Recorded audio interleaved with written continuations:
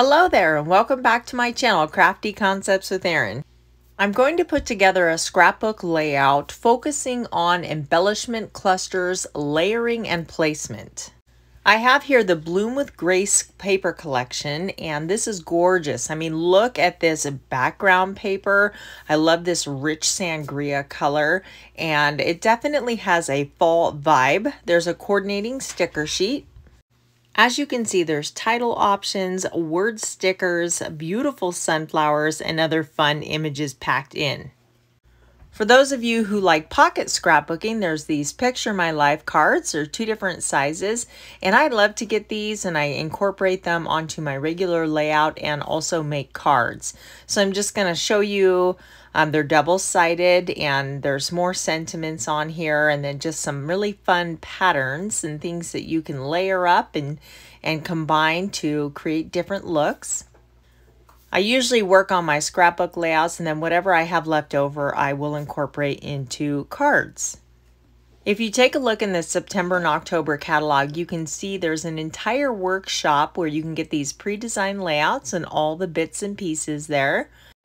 When you turn the page, you can see they have coordinating stamp sets. Again, more sunflowers and titles and sentiments.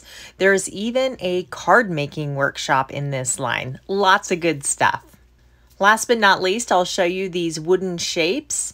There are different leaves and hearts. There's even the word smile in here. I love the wooden accents. It's a great way to add texture to your projects. So every year I take a selfie in the garden and here I am surrounded by sunflowers. It's just kind of this little annual thing I do because the sunflowers are so happy. So I'm going to be scrapbooking that photo today. I always start by removing the zip strip, which is like the branding strip. And on one side, there is a different color and pattern you can use as accents. So always be sure to set those aside. I'm just going through the paper pack and choosing the main papers that I want to incorporate. So I definitely like this striped pattern paper and then of course that green right there. So just getting these ready. And I have a rough idea in my head of what I want my layout to be. So I'm just experimenting with the different layers and now I'm going to do some paper tearing. So I want to incorporate this stripe. Now with stripe patterns, I like to add just little accents of them. It's a great way to incorporate all those colors from this paper collection. So I've torn the edge and I'm rolling it up to just kind of rough it up even more. And now I'm just kind of eyeballing how big of a piece I want. So I'm creating a strip that's about five inches wide, give or take a bit. And again, I'm tearing this paper down. So I'm just going to pull towards me so we have that white edge. And I don't want that much white showing, so I'm just going to peel that off and then again, I'll rough up that edge with my fingertips. I'm going to repeat the process with this green pattern here. This is the fern color, and I just love this color. It's very, very pretty. So we're just going to do the exact same thing, only this time I'm going to make it a little bit narrower so we have that striped paper peeking out on both sides. So I'm just holding it against it, and I'm just going to tear down to see where my layers are here. And then again, I'm going to have to go in and remove more because I want to see that stripe layer in the background there. This technique of tearing the edges has actually been around for a long time and it never seems to go out of style. So I have my two main strips here and I can go ahead and get these tacked down just using my tape runner. I'll get them secured into place so I can start building up the layers on my layout. So we'll get the striped down in place and then put this fern green pattern paper down in place just like so. So to help my photo stand out, I've gone ahead and cut two mats, one in espresso and the other in canary. And these are just like a 16th of an inch um, larger than my photo mat. So it's giving just a slight hint of color. So I'm layering these up and you'll see how that yellow border around my photo just kind of makes it pop. I'm thinking about bringing in this lighter color pattern paper, but it's not quite right, so I'm going to reach for some tissue paper. This adds just a really nice softness and some texture to the layout. So we're just about ready to embellish. I've gone ahead and I've pulled off a bunch of pieces that I thought I'd like to incorporate. These are from the sticker sheet. I've taken my anti-static pouch and just gone over the back to remove the adhesive so now they're like die cuts. I always begin with the largest embellishment first. So I have a big space over here in the lower right hand corner. So this is going to fit really nicely. You hear people talk about a visual triangle, and often that's the way I decide my embellishment placement. I'm going to create a visual triangle around my focal photo. I always recommend repeating elements. So in that big cluster, we had the sunflowers and the leaves. So I went ahead and tucked leaves into the other clusters as well. I want to bring in some word stickers. This one says cultivate joy. And so to repeat that brown color, I'm just experimenting with this zip strip here. And then I want to also bring in different textures. These wooden shapes are perfect for that. So I'm just going to experiment with some placement of these wooden leaves and you can see how that just adds a lot to this already beautiful embellishment piece. So we want to, again, repeat those elements in the other clusters. So we're going to add the wood and it's okay. They don't all have to be the same leaf, just the wooden element. You can always repeat word stickers as well. So I'm probably going to tuck that little guy up in that upper corner as well. I'm thinking I want some lightness up there. So what I'm going to do is actually tear the paper away and back it with this vanilla based um, pattern paper. I'm going to slide the whole piece back there just to make sure I'm happy before I trim it down. And I think that's going to look good and be just the piece I'm looking for. So again, I'm roughing up the edge like I did on the other torn edge edges. And I'm bringing back in my little elements just to make sure I like it. And that torn paper with the lighter car or pattern paper behind it just adds a really nice layer to that embellishment cluster. So just to recap, I always try to start with the largest and work up to the smallest.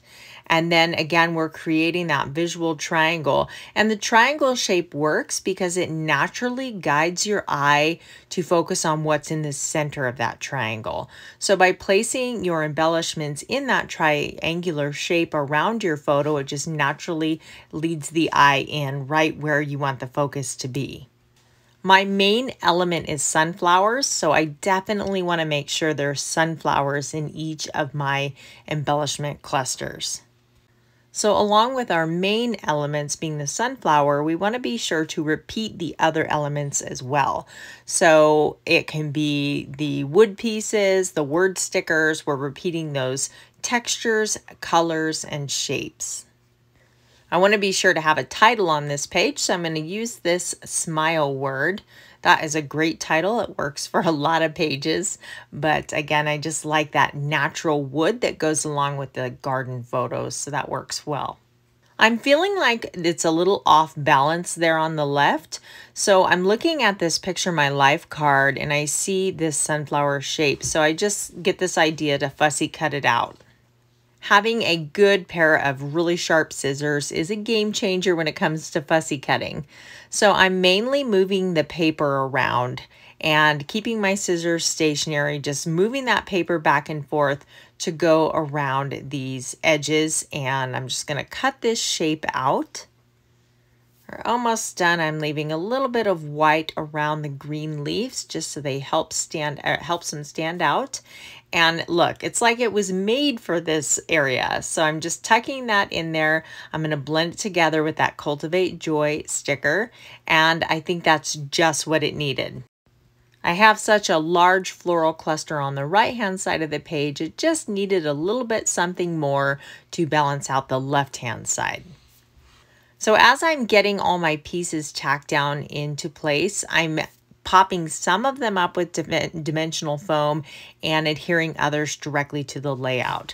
So layering and overlapping is also really important when you are building those embellishment clusters. This creates dimension in the layers and it just adds a lot of interest. I'm using a little liquid glass with the fine tip applicator to adhere down my wood shapes and then again the dimensional foam and just getting all those together.